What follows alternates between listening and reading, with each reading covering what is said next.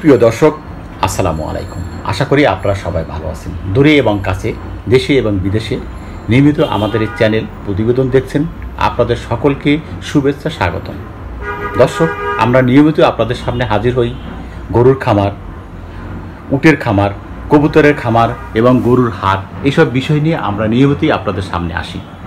দর্শক, আজ আমরা এই গরুর খামারের পাশাপাশি ভিন্ন ধর্মী একটি প্রতিবেদন নিয়ে আমরা আসব। এখন থেকে আমরা এই গরুর খামারের পাশাপাশি এই ধরনের প্রতিবেদন আপনাদের সামনে নিয়ে আসব। দর্শক, আজ আমরা আসছি এমন একটি কাহিনী, স্বামী পরিত্যক্তা, একজন নারীর কথা আপনাদের সামনে তুলে ধরব। দর্শক, প্রথমে পরিচয়, তারপরে প্রেম, তারপরে বিয়ে, এরপরে বাচ্চা। তিন মাসের গর্ভে একটি সন্তান রেখে স্বামী বউকে ছেড়ে চলে যায়।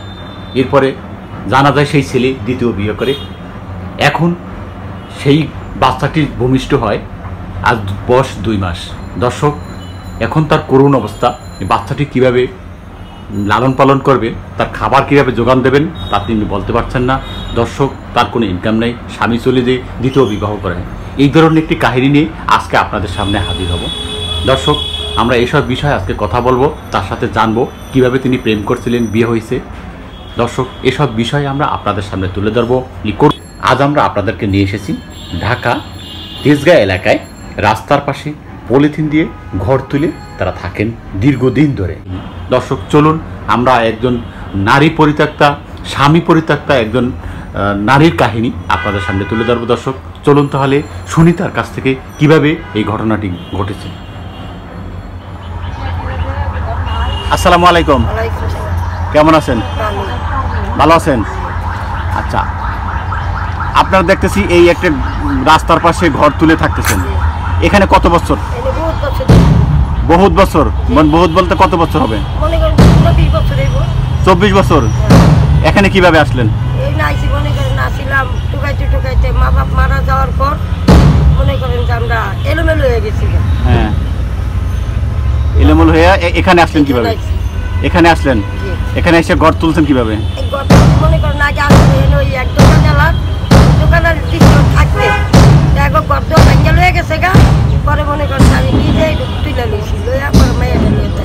আচ্ছা আপনি দেখতেছি পাশে এটা কি আপনার মেয়ে? এক মেয়ে না মেয়ের গেছে আর একটা বিয়ে হয়ে গেছে। হ্যাঁ, আচ্ছা এই যে পাশে মেয়ে দেখতেছি আপনার মেয়ের কোলে একটি ছেলে না মেয়ে? ছেলে। আপনার নাতি? আচ্ছা এই মেয়ে বিবাহ কীভাবে দিলেন? এই মাইয়া বিয়া দিয়েছিলাম মাইয়াই মনে করেন যে ওই ছেলের পছন্দ হয়েছে হুম, মাইয়ার পছন্দ হয়েছে আর নিজেরাই বিয়া বইছে। হ্যাঁ। বিয়া বইয়া এরপর আমার কাছে আইছে। হ্যাঁ। আইসে মতন আমি রাখছি। আমারে বুঝাইছি বুঝানোর পর মনে করেন যে জামাই আসিল। দুই তিন মাস। তারপরে মাইয়াটা মাইরে তৈরা পরে জামাই ভাগ্যা গেছে জামাই কি করতো? গাড়ি চালাইতো। কি গাড়ি? ওই পিক আপ পিক আপ চালাইতো? কভার ভ্যান কভার ভ্যান চালাইতো? আচ্ছা কয় মাস পরে বাইকে গেল? তিন মাসের পেরে থেকে গেছে। তিন থেকে আজকে আর আসে নাই? না। এখন কি অবস্থা? খোঁজ খবর নেয়? না। কোনো খোঁজ খবর দেয় না? ভরণ পোষণ নেয় এখন আপনার মেয়ের কি অবস্থা? আমার আমার গাড়ি। আপনার গাড়ি? আচ্ছা আপনার মেয়ের কাছে জানতে। আচ্ছা তোমার যে বিবাহ হলো কীভাবে? তুমি কীভাবে বিবাহ করলা? ও, সম্পর্ক হয়েছে সম্পর্ক হওয়ার পর আমরা ছেড়ে বিয়ে কতদিনের সম্পর্ক? হ্যাঁ? তিন মাস। কীভাবে পরিচয় হলো ছেলের সাথে? এখানে আসতো গাড়ি নিয়ে। হ্যাঁ। তখন থেকে পরিচয়। এখানে আসতো তুমি এখানে থাকতা? তুমি কি করতে পড়ালেখা করছ? মানে এখানে থাকতা তোমার সাথে পরিচয়। তো প্রেম হলো কীভাবে তোমার বিশ্বাস হলো যে তাকে বিবাহ করা যায়? সে বলছে যে ফালাইব না। হালাইব না। তারপরে? বিয়ের তিন মাস পর সে গেছে। তিন মাস পরে আপনাকে ফেলে দিয়ে চলে গেছে? তারপরে আর খোঁজ খবর নিছে? আচ্ছা তিন মাস পরে তো আপনি দেখতেছি কোলে একটি বাচ্চা। এই বাচ্চার কি অবস্থা এখন? কীভাবে হলো? বাচ্চা হয়েছে মনে করেন যে আমার মায়ের দেখছে সব। বাচ্চার বয়স কত এখন? দুই মাস। দুই মাস? এখন এই বাচ্চার ভরণ পোষণ বা তোমার ভরণ পোষণ কে চালায়? তোমার আম্মুই চালায় তোর আম্মু কি করে?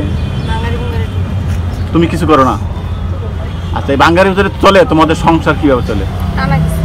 টানা আচ্ছা কি করতে চাচ্ছ? তোমাদের কি মানে কি করলে তোমরা ভবিষ্যতে চলতে পারবা? কীরকম উঠতে চাও? তোমাদের কি ভবিষ্যৎ আশা কি?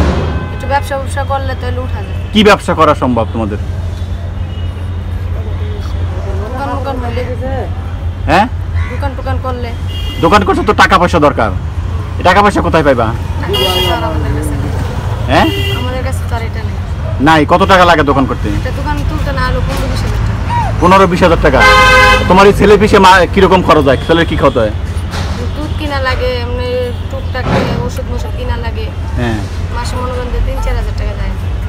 তিন চার হাজার টাকা জায়গা এই তিন চার হাজার টাকা তোমার মা সংস্থান দিতে পারে? তোমাকে টুকটাক করে আমার সাথে হালত মালত করে পরে হালাত করে চালায়।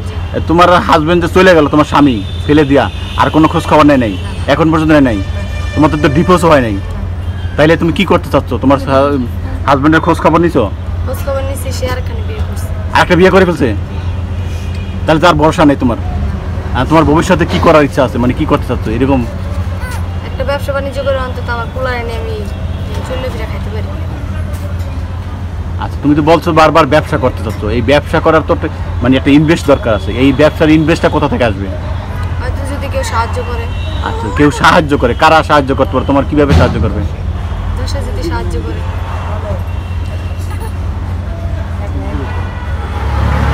আচ্ছা তোমার কোলে একটা ছেলে দেখতেছি এবং তোমার ভবিষ্যৎ নিয়ে তোমার পরিকল্পনা কি? তোমার এই ছেলের এবং তোমার ভবিষ্যৎ পরিকল্পনা কি? যদি কেউ একটু সাহায্য করে যে অর্থ আছে তাহলে মনে করেন যে আমার পুলানে আমি দোকান টোকান করে তাহলে যদি একটু উঠতে পারি। কীরকম সাহায্য করতো? তুমি কি করতে চাচ্ছ? একটা দোকান যদি কেউ সাহায্য টাহায্য করতে যায় অর্থ আছে। কি দোকান করতে চাচ্ছ তুমি? চার দোকান মোকান হইলে। চার দোকান করতে কত টাকা লাগে? চার দোকান করতে পনেরো বিশ হাজার টাকা লাগে। পনেরো বিশ হাজার টাকা? তাহলে আমার ছেলে আমি চলে ফিরে বিয়ে করতে পারি আচ্ছা তোমার হাজবেন্ড তো তোমাকে ছেড়ে চলে গেছে। আর ফিরে আসার কোনো আশা আছে কিনা? কেন? আর একটা বিয়ে করছে। তুমি জানতে পারছ বিয়ে করছে? তিন মাস মধ্যে আর কোনো খোঁজ খবর নেই?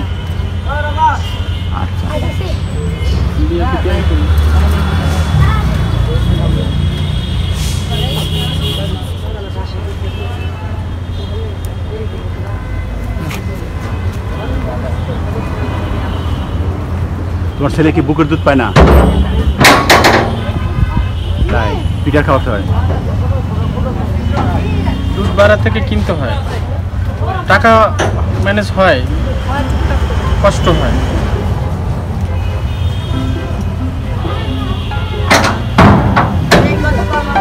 Thank